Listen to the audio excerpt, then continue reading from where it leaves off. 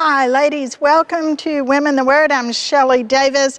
I'm part of the teaching team. I'm always excited to be here studying the Word of God with all of you that are joining us at the South Campus. And if you're joining us on the internet, we're glad that you are here. As you can see, I've got kind of a unique set behind me. It's Kids Camp Week at Christ Chapel. I hope that has been something you've been able to take part in as well with your children. It is a blessing.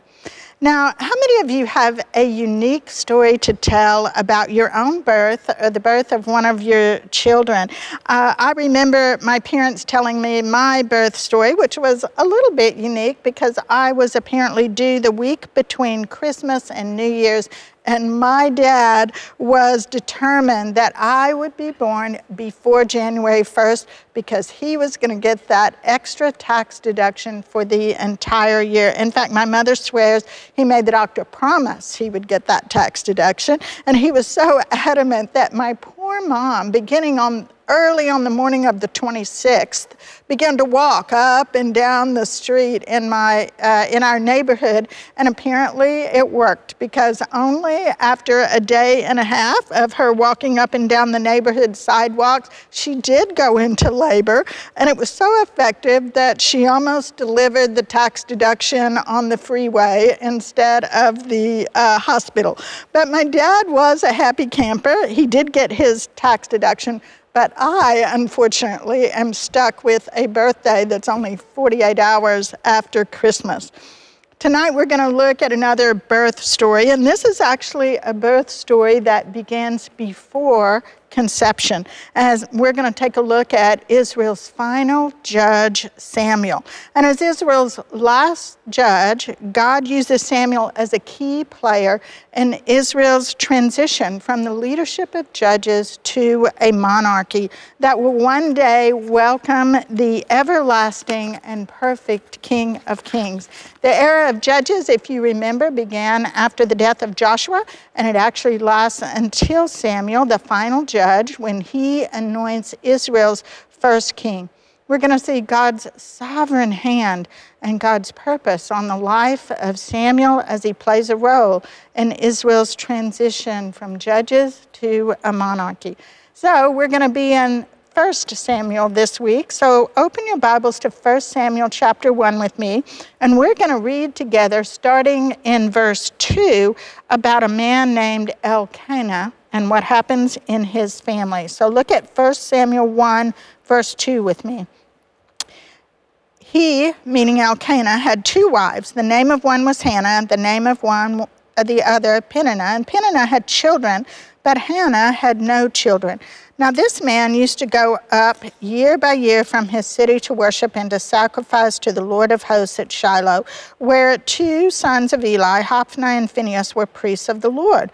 On the day when Elkanah sacrificed, he would give portions to Peninnah, his wife, and to all her sons and daughters.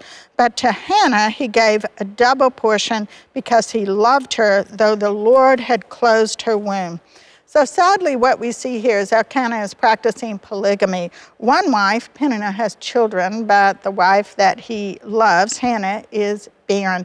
Because God had promised to bless the Israelites with many descendants if they obeyed him, barrenness in ancient Israel was often misconstrued as God's curse on a woman who was guilty of some sin. And Peninnah actually takes advantage of her role as the wife with children to constantly taunt Hannah's barrenness and her supposed sin.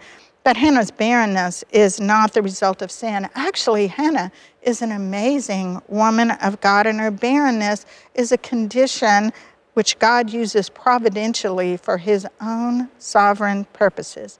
Keep reading with me. Look at verse 9. After they had eaten and drunk in Shiloh, Hannah rose. Now Eli the priest was sitting on the seat beside the doorpost of the temple of the Lord. She was deeply depressed, distressed, and prayed to the Lord and wept bitterly. And she vowed a vow and said, O Lord of hosts, if you will indeed look on the affliction of your servant and remember me and not forget your servant, but will give to your servant a son, then I will give him to the Lord all the days of his life, and no razor shall touch his head. We get a unique peek into Hannah's true heart here and character. It's unusual to get that kind of look into someone's heart. Samuel's mother here shows us her desire to be relieved of her suffering of barrenness and having no children, but she shows us something else. She shows us her great desire for God to be honored as she offers up a future son as a servant to her God and a leader for Israel she addresses the Lord here as, O Lord of hosts. Uh, in your Bible, it may say Lord Almighty, but both of those are a picture of God's intimate power as he fights for his people. The phrase, no razors shall touch his head, is a reference to a Nazarite vow. We talked about that last week with Samson. A Nazarite vow is where you set yourself apart from the Lord. You consecrate yourself to the Lord or dedicate yourself to him. And the vow includes not drinking wine, cutting your hair, or defiling yourself by touching a dead body. It's usually a vow that you take for a limited period of time in someone's life. But Samuel's mother here is offering her son to the Lord through this vow for all of his life in today's world, it would be like offering our unborn child to the Lord for a life of ministry, a life dedicated to ministry. Now, Hannah is not asking for a profession here for her son. She doesn't want a vocation for him. What she's asking for through this vow is that his heart would be fully and completely devoted to the Lord all the days of his life. Now, as Hannah goes on to pray silently, weeping with her lips moving. Eli, the priest, jumps to a wrong conclusion. In ancient Israel, most prayers were audible. They would stand in the temple and pray out loud. And because she is praying silently, Eli the priest assumes she is drunk and he confronts her. But her explanation only goes on to further reveal her godly character and her faith in God's hand on her life. Look at verse 14 with me in chapter 1. And Eli said to her, How long will you go on being drunk? Put your wine away from you. But Hannah answered, No, my Lord, I am a woman troubled in spirit. I have drunk neither wine nor strong drink but I have been pouring out my soul before the Lord. Do not regard your servant as a worthless woman, for all along I've been speaking out of my great anxiety and vexation. Then Eli answered, Go in peace, and the God of Israel grant your petition that you have made to him. Eli actually changes his opinion of her after hearing her explanation in her heart, and he blesses her. He blesses her. He prays for God to honor her prayer. And we, we see the result of Hannah's prayer and Eli's blessing in verse 20. Look down at verse 20. And in due time, Hannah conceived and bore a son, and she called his name Samuel, for she said, I have asked for him from the Lord. So Samuel's remarkable life and his consecration to a life lived in service to the Lord actually begins before his conception with his mother's prayer. And you know, his mother never wavers from her commitment and consecration that she made before his conception. She recognizes that Samuel's birth is not just a coincidence. It's not just a unique reversal of her physical infertility, but it's a supernatural gift from the Lord. And she names this supernatural gift Samuel, which actually means God hears or heard of God.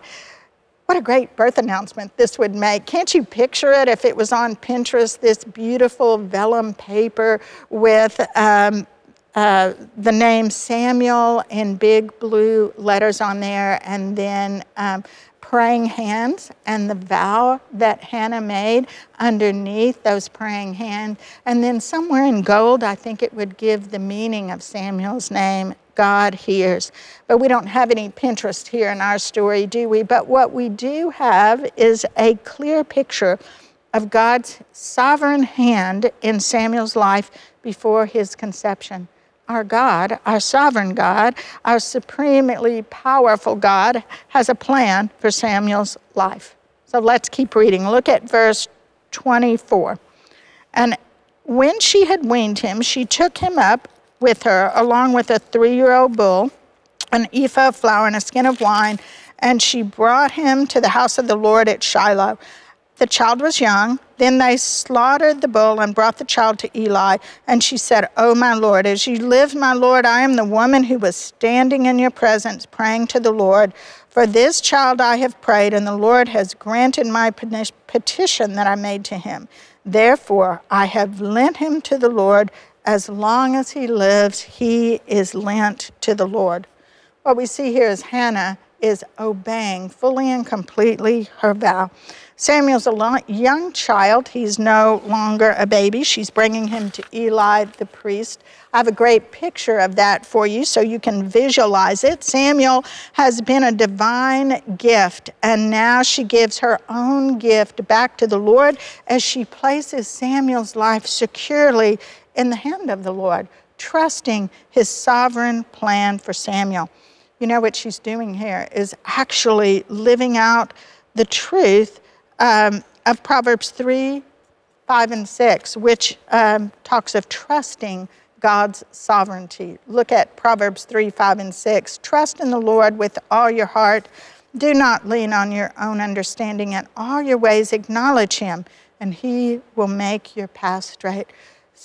Hannah is acknowledging the sovereignty of God in Samuel's life as she returns him according to her vow. Now, verse 28, it closes with the words, He worshiped the Lord there. And there was discussion among theologians about whether this was Elkanah or whether it was Eli. But actually, this could be Samuel. This could be young Samuel's first step into lifelong ministry of service. He could be worshiping the Lord as he walks into the temple for the very first time as a servant of the Lord. Now, most of us would expect that fulfilling her vow and leaving Samuel would be sad and difficult for his mother. She only, may only see Samuel once a year now in their yearly visits to Shiloh. But Samuel's mother's reaction is not sadness, actually. It's one of praise. And we have one of the most beautiful prayers of praise in the scriptures here in the first 11 verses of chapter 2. We don't have time to read it, but uh, go back and read it later. It's incredible. Her praise to the Lord here as she's leaving Samuel at the temple with Eli is an encouragement about Samuel's life for her and for Samuel as she gives her gift back to the Lord. What better gift to give young Samuel than the truth of who God is as he walks into the temple to serve the Lord for all of his life. This amazing prayer of praise in these verses reminds all who read it, all who hear it, of the sovereignty of God, as you learn in her prayer of praise of God's salvation, His holiness, His omniscience, His omnipotence, His sovereignty over life and death, over rich and poor, over His people as He protects the faithful and destroys their enemy. Hannah prays this for Samuel and praises her God as Samuel serves for the rest of his life. Um, this prayer of praise marks God's sovereignty in Samuel's new life of service. But look at verse 11 with me. And then Elkanah went home to Ramah, and of course his mother went too. And the boy was ministering to the Lord in the presence of Eli the priest. So his family returns home, and he remains in the temple with Eli serving the Lord. So our first glimpse at um, Samuel, Israel's last judge, reminds us of an important truth, I think. It was important to me as I study it. It reminds us that God is always at work in our lives in unique and powerful ways. He knows us before we are born. He already knows the details of our lives and the length of our days. The sovereign God of all the universe has his hand on our life, whether we see it or not. I became a believer as an adult at the age of 26, and I was really unaware of any deep spiritual heritage in my family at all um, when I became a believer. But a little while after that, I was given my great grandmother's very well read Bible, which I didn't know even existed. Um, And then shortly after that, I was given a journal from my great great grandmother that talked of her deep faith sustaining her during the Civil War and her prayers for her future family if she survived the Civil War. I had a spiritual heritage that I'd never been told about. It was evident that our sovereign God had been at work in my family, even though I was clueless. Our challenge as we look at Samuel's consecration to the Lord, even before he was conceived, is to look for God's sovereign hand on our lives as well. It's there, ladies. I promise you it is. His supreme, ultimate power is working in our lives, and I'm afraid we rarely recognize it, but it's there. Look at Psalm 139 on your verse sheet, verses 15 and 16. My frame was not hidden from you when I was made in secret, intricately woven in the depths of the earth. Your eyes saw my unformed substance. In your book were written, every one of them, the days that were formed for me, when as yet there was none. God's sovereign hand in our lives before we are born. And look at Ephesians 1 4, just up from that. Even as He chose us in Him before the foundation of the world that we should be holy and blameless before Him. God's sovereign hand is on our lives, and when we have our eyes open to the sovereign hand in our lives, just like Hannah, we can praise Him for His sovereign work. Praise Him for our salvation. Praise Him for His power displayed in our lives. What an example these 11 verses in chapter 2 are for us but let's keep reading. Look at verse 12 in chapter 2. Now the sons of Eli were worthless men, they did not know the Lord. Okay, so we've seen the human reason for Samuel's birth. His mother was barren and longed for a child, and now we're going to see God's divine purpose in Samuel's birth. Eli has two sons, Hophni and Phinehas. Uh, they were priests at the temple, and they are worthless, godless men. They abused their position as priests by constantly eating the meat that was intended to be sacrificed uh, to the Lord alone. And even more shocking than that, they participated in ritual prostitution that was part of the Canaanite worship on the grounds of the temple. Eli had lost control of his sons and lost control of their behavior as priests. And as a result, we're going to see God reject the priesthood of Eli, his sons, and his future family. Look down, we're going to skip around a little bit. Now, look down at verse 31 in chapter 2, where it says, Behold, the days are coming when I will cut off your strength and the strength of your father's house, so that there will not be an old man in your house.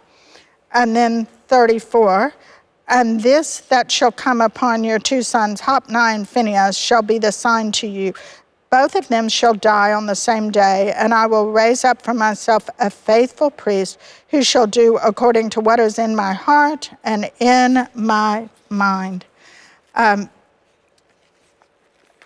because of their ungodly behavior, God actually cuts off completely Eli's branch of the Levitical tree. Now we see God's sovereign divine purpose in Samuel's birth. It will be Samuel who will be taking the place of Eli's sons as priest and judge. It will be Samuel who will one day be the priest that anoints Israel's first two kings. In contrast, however, to Eli's blasphemous sons, Samuel is growing closer to the Lord every day. Look at verse 26 with me in chapter 2. Back up a little bit. Now the boy Samuel continued to grow both in stature and in favor with the Lord and also with man. Young Samuel is actually thriving at the temple while Eli's sons are living their blasphemous lives. He is thriving and living out the vow his mother has made. But let's look and see what happens as Samuel continues to grow. Look at chapter 3, verse 1. Now the boy Samuel was ministering to the Lord in the presence of Eli, and the word of the Lord was rare in those days, and there was no frequent vision. At that time, uh, Eli, whose eyesight had begun to grow dim so that he could not see, was lying down in his own place, and the lamp of God had not yet gone out, and Samuel was lying down in the temple of the Lord where the ark of God was. And then the Lord called Samuel, and he said, Here I am. And he ran to Eli and said, Here I am, for you called me.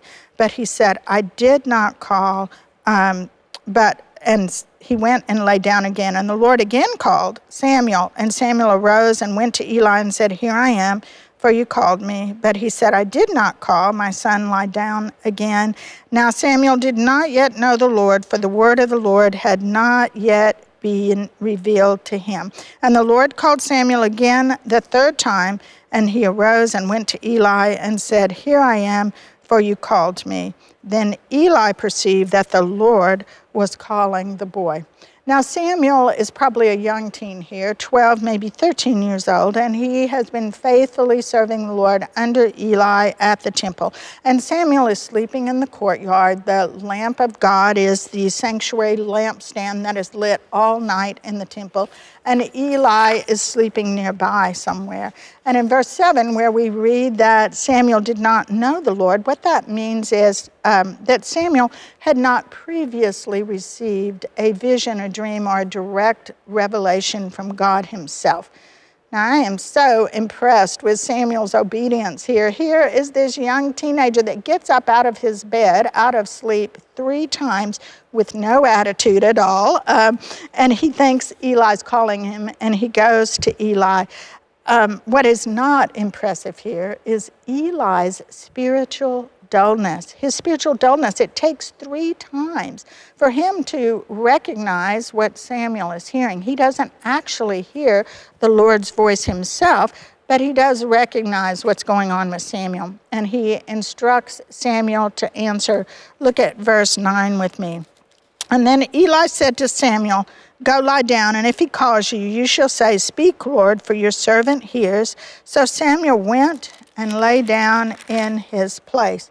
And the Lord came and stood and calling as at other times, Samuel, Samuel. And Samuel said, Speak, for your servant hears. And the Lord said to Samuel, Behold, I am about to do a thing in Israel at which the two ears of everyone who hears it will tingle. And on that day I will fulfill against Eli all that I have spoken concerning his house from beginning to end.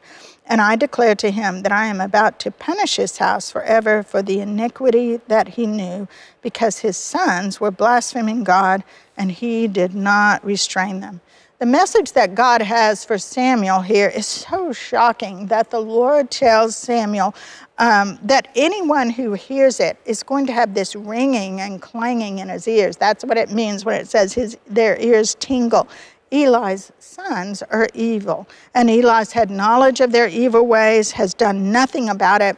So, as Eli has already been told, the priesthood is going to be removed from his family. Now, this cannot be an easy message for Samuel to hear and understand. And he doesn't want to actually tell Eli the message the next morning when Eli calls for him. But Eli insists, and Samuel tells him everything. This moment is actually Samuel's first act as a prophet of Israel. The Lord had found a trustworthy mouthpiece for his messages. Look at um, verse 19 in chapter 3 with me. And Samuel grew, and the Lord was with him, and he let none of his words fall to the ground. And all Israel, from Dan to Beersheba, knew that Samuel was established as a prophet of the Lord. And the Lord again appeared at Shiloh, for the Lord revealed himself to Samuel at Shiloh by the word of the Lord. The Lord has found a reputable and reliable mouthpiece, and the mark of a true prophet of the Lord is that his words prove true. Samuel's communication as the Lord's mouthpiece was so effective and consistent that his words were accepted by Israel as the Lord's own words. Look at Deuteronomy 18:22 with me. When a prophet speaks in the name of the Lord, if the word does not come to pass or come true, That is a word that the Lord has not spoken. The prophet has spoken it presumptuously. You need not be afraid of him. Samuel speaks the truth from the Lord. And because of that, all of Israel from the north to the south recognized that Samuel was God's prophet and that God had returned to the temple in Shiloh and was speaking to Samuel. Now, Eli and Samuel actually both give us a great lesson here as we think about hearing God's voice in our own lives. The night that God calls out to Samuel, both men, the young and the old, are sleeping. But one hears the Lord's voice immediately, and the other hears nothing when the Lord speaks. Now, because of his inexperience, Samuel doesn't immediately recognize what he's hearing, but he does hear the Lord's voice every single time. But the experienced priest Eli never hears the Lord's voice calling out to him that night. Samuel wakens him, but he has never heard the Lord's voice that night. So, despite the years of service in the Lord's temple, Eli's hardened hearts have done a unique thing. His hardened heart has closed off his ears as well. He's lost his ability to listen for the Lord. But what we see in young Samuel is that he has a spiritually sensitive heart that opens his ears to the Lord's voice in spite of his inexperience. And that's the lesson we can take from Samuel and Eli. We must be women who listen for the Lord's, Lord's voice with a sensitive heart that opens our ears to the Lord's voice every time. Every time we open His Word right here, the Lord speaking to us with a sensitive heart, our ears are open to what He has to say. Our ears will be open to Him every time we sit with Him in prayer when we have a heart that's sensitive. It will have, uh, our ears will hear Him speak to us through the wonders of His creation. And when we hear God calling out to us through His Word as we read it, through our moments sitting quietly, still before Him, like Samuel, we need to answer and obey. I love Samuel's response here speak, for your servant hears. The Hebrew word that's translated here in our scriptures is not just the mechanical act of the ear translating sound to your brain, it also has the meaning of obedience, of being able to obey. In other words, what Samuel is saying to the Lord here, what we should be saying to the Lord is, Speak, Lord, for your servant obeys.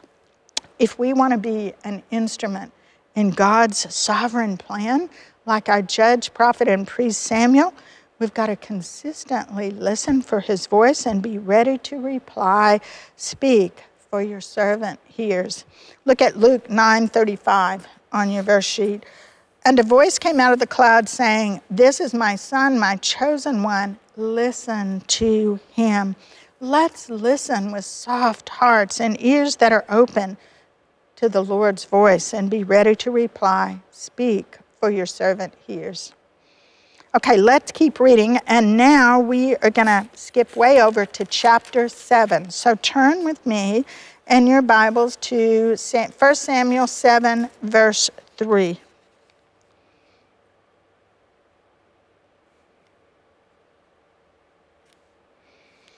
And Samuel said to all the house of Israel, If you are returning to the Lord with all your heart, then put away the foreign gods and the Ashtaroth from among you, and direct your heart to the Lord and serve him only. And he will deliver you out of the hand of the Philistines. So the people of Israel put away the Baals and the Ashtaroth, and they served the Lord only. While Samuel was still a young man, the Philistines attacked Israel and managed to capture the Ark of the Covenant. And during that battle, interestingly enough, with the Philistines, both Eli's sons were killed on the same day as it had been prophesied and told to Eli. And then Eli heard about their death later that day and he died as well.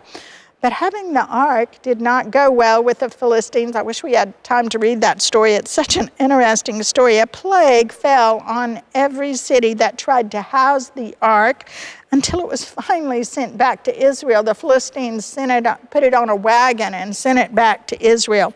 And the ark, although the ark returned to Israel in just a few months, I think the Philistines had it for seven months, it is 20 years before Israel repents of their idol worship, of worshiping the Baals and the Asherah, and returns to their God.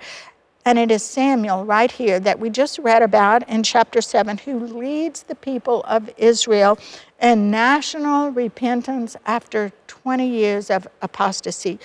And we see the cycle of judges here playing out as the oppression by the Philistines has finally led the Israelites to call out to the Lord in repentance. And they agree here under Samuel's leadership to put away the idols they have been worshiping for 20 years and serve the Lord only.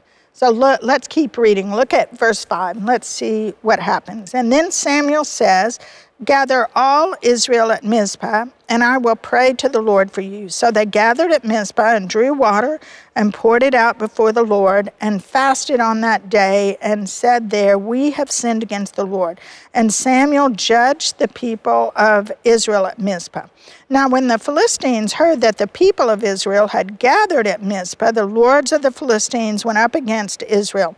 And when the people of Israel heard of it, they were afraid of the Philistines. And the people of Israel said to Samuel, Do not cease to cry out to the Lord our God for us, that he may save us from the hand of the Philistines. So Samuel took a nursing lamb and offered it as a whole burnt offering to the Lord. And Samuel cried out to the Lord uh, for Israel, and the Lord answered him.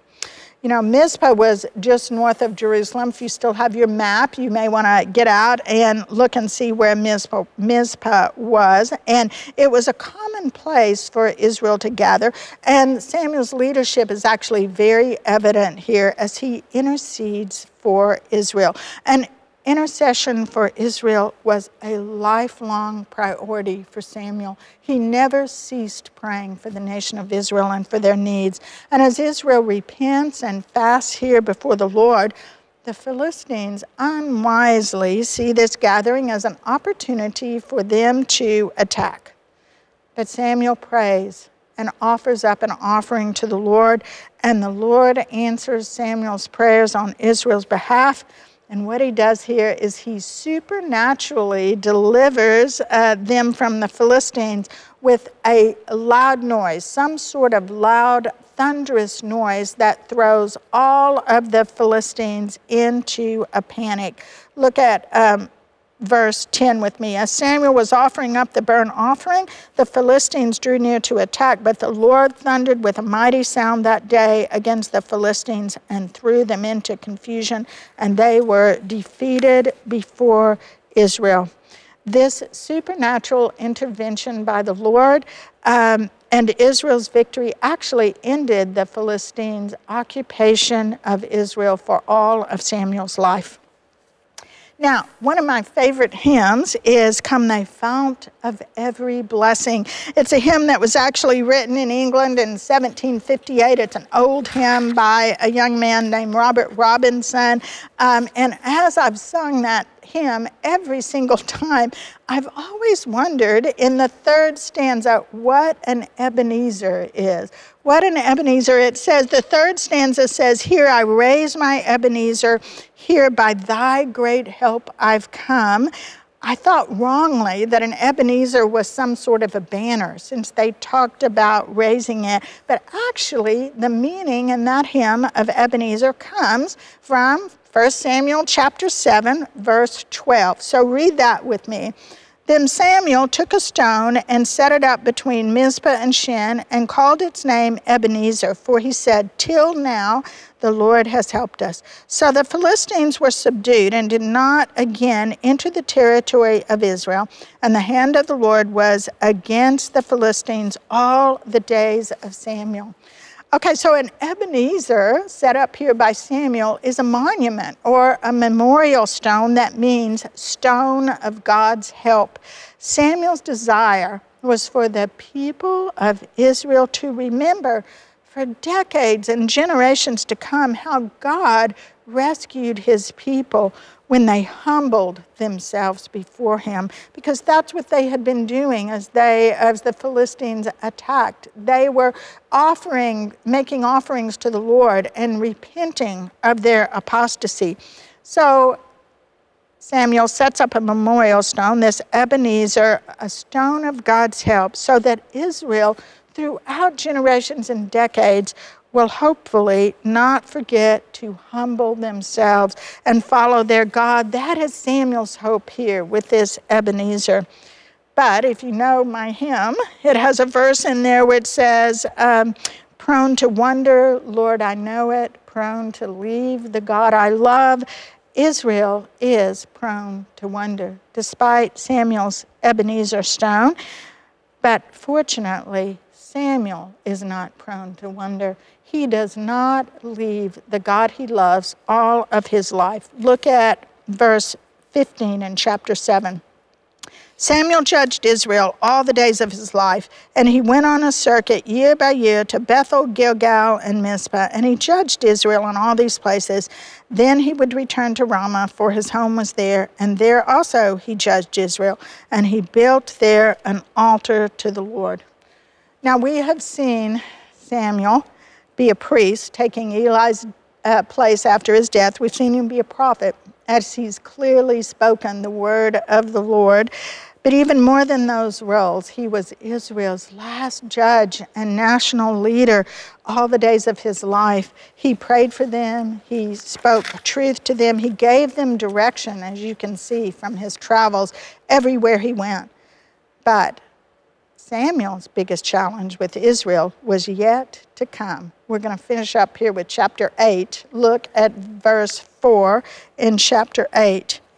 Then all the elders of Israel gathered together and came to Samuel at Ramah and said to him, Behold, you are old, and your sons do not walk in your ways. Now appoint for us a king to judge us like all the nations.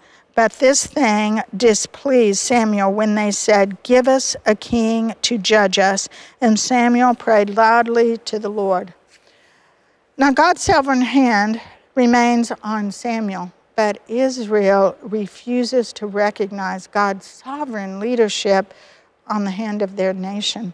It was not sinful for the people of Israel to ask or inquire about an earthly king, but what is dismaying and displeasing to Samuel and to the Lord is for them to insist on their own timing, like a spoiled child, child that wants candy before dinner, um, for them to insist on their own timing of a monarchy for Israel. You know, it had always been God's plan for Israel to usher in a monarchy eventually that would one day welcome the Messiah as the King of Kings and Lord of Lords over Israel. But here, what we see is Israel rejecting God's timing. Samuel, whose very life is the result of God's sovereign time clock, he is totally dismayed and upset by the people's demand for a king instead of their submission to God's sovereign plan. Let's look at God's answer to Samuel in verse 7 of chapter 8. And the Lord said to Samuel, Obey the voice of the people and all that they say to you, for they have not rejected you, but they have rejected me from being king over them and according uh, to all the deeds they have done from the day I brought them up out of Egypt, even to this day, forsaking me and serving other gods, so they are also doing to you. Now then, obey their voice, only you shall solemnly warn them and show them the ways of the king who shall rule over them. You know, the Lord tells Samuel the ugly truth here, even though it may feel to Samuel like they're re- rejecting his leadership as judge over Israel. What the Lord recognizes is the truth that they are, accept, are rejecting his sovereign leadership over him, over them. And just like any good parent, God lets his wayward children have their way to teach them a lesson. And the lesson that Israel is going to learn under many of their earthly kings is that the king they are asking for is going to be a human, not a divine leader. Many of Israel's kings um, will oppress them, enriching themselves, appropriating their property, conscripting their children, taxing their land, and sending them off to many wars. Israel would reap the consequences of their decision to replace their loving and powerful sovereign king with a human king. And even though Samuel goes on to tell the people these truths about the king they are asking for, the people refuse to listen. Look at verse 19 in chapter 8 with me. But the people refused to obey the voice of Samuel, and they said, No, but there shall be a king over us, that we may be like all the nations, and that our king may judge us and go out before us and fight our battles. And when Samuel heard all the words of the Lord, he re- all the words of the people, he repeated them in the ears of the Lord. And the Lord said to, to Samuel, Obey their voice and make them a king. Samuel's story actually does not end here with his deep disappointment with the people of Israel, but his role as judge and sole leader of Israel will change as he goes on. And the rest of 1 Samuel, which we're going to study together next year, he goes on to anoint Israel's first two kings, Saul and then David. But what we see with Samuel is we never see him waver despite his disappointment in the people of Israel. He does not waver from his lifelong commitment to his mother's vow before he was conceived. We see that he was committed to the Lord as a tiny boy in the temple, surrounded by old men who were not leading the best lives. He's committed during Israel's 20 years of apostasy and idol worship before he calls the nation back to the Lord in repentance. We watched him um, and in this last story, we, we actually see the foundation of his lifelong commitment to the Lord. He didn't always understand what the Lord was doing with Israel, but you know what he always did? He always followed his sovereign God. He followed and submitted his will to God's will. Our calling is just like Samuel's, actually. It's to recognize the sovereignty of God in our lives and then to follow to follow him in submission and obedience. It's what we see our last judge Samuel do all of his life, and it's what we see Samuel do as his leadership transitions Israel to the monarchy that eventually points Israel and us to the King of Kings. Our final lesson from Israel's last judge is that we should follow God faithfully and submit to his plans, even when his plans are different from our plans because his plans, unlike our plans, stand firm through all generations. Look at John 10 27 with me. My sheep hear my voice, and I know them, and they follow me. And Psalm 33 11 says, But the plans of the Lord stand firm forever, the purposes of his heart through all generations. It's a lesson that our final judge, Samuel, knew well and submitted to. Pray with me. Father, you're a good and a gracious God. We love you. We pray that we will be women that follow you all the days of our lives and submit to your plans, even when they are different from our plans. We thank you for the truth of your word and the lessons that it teaches us. And I pray this in the name of your Son, our Savior, Jesus Christ. Amen.